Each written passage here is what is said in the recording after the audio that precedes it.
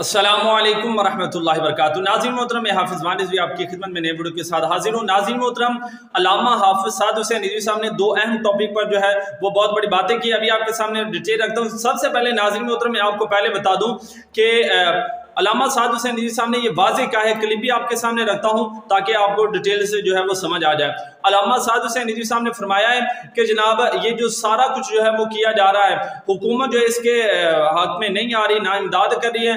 लेकिन जब जनाब इनकी अपनी बारी है कोई खरीदो फरोख्त करने की बारी है तो इन पर इनके पास जो है वो अरबों रुपए आ जाते हैं। उन्होंने कहा कि जनाब, ये उन गुस्ताख मुल्कों से जनाब, इमदाद मांग रहे हैं कि जिन्होंने मुसलमानों के दिल जो है वो दुखाए हैं और इस सारे काम के पीछे जनाब उनका हाथ है और उन, उनका ये सारा किया है और जनाब ये अब जनाब उन्हीं से जो है वो भीख मांग रहे हैं। अभी आपके सामने क्लिप रखता हूँ और फिर उसके बाद एक अहम टॉपिक पर आपसे बात करूँगा।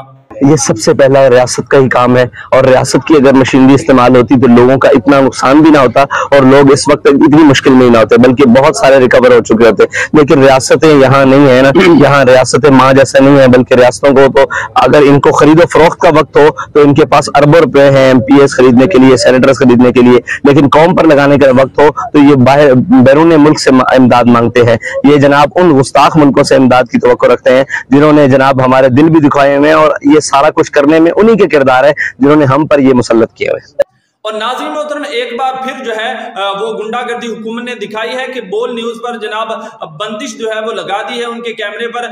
और इस पर जो है, अलामा साद हुसैन निजी साहब ने कहा है कि बोल न्यूज़ की जो बंदिश है, उसको ख़त्म किया जाए। जो लोग हक की बात को आगे लेकर जाते हैं, आप उनका जनाब कैमरा बंद कर देते हैं तो इस तरह बिल्कुल जो है, वो नहीं होना चाहिए। और इस बात की जो वजाहत है, वो बोल न्यूज़ चैनल ने जनाब खुद की है, आप वो भी जो है, वो मुलाजा फरमा लें। अमीर तहरीक लब्बैक पाकिस्तान हाफिज साद हुसैन रिजवी ने भी बोल न्यूज़ की बंदिश की शदीद अल्फाज में मजम्मत करते हुए कहा कि बोल पर पाबंदी आज़ादी सहाफत पर हमला है। ज़बरदस्ती की जबान बंदियाँ हुकूमत वक्त के लिए नुकसानदेह साबित होंगी। पैमरा बोल न्यूज़ के खिलाफ अपना नोटिफिकेशन फौरी वापस दे। हाफिज साद हुसैन रिजवी ने पैमरा से बोल न्यूज़ की नशरियात बहाल करने के अहकाम भी जारी करने का मुतालबा कर दिया।